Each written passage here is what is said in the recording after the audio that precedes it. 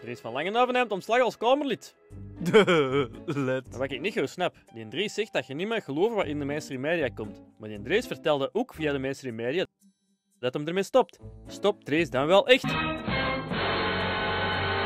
In ieder geval, hij heeft een stap terug en dat is heel goed, want onze Samson die liet zich door iets te hard door beïnvloeden.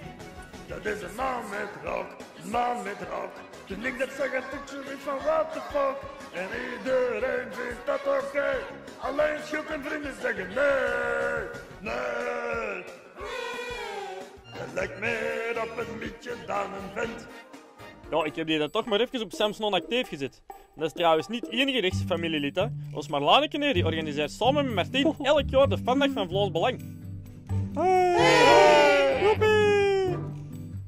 Activiteit gaan we ongespeelde vluchtelingen uit de zeeschepen in terugsturen. Ik heb een kwal gevangen. Ah, dat is jammer de dichter die is van Middelkerkje niet mag blijven.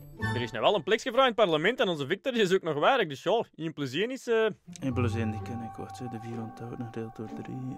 Wacht, zo. Jantje houdt nog twee appels over.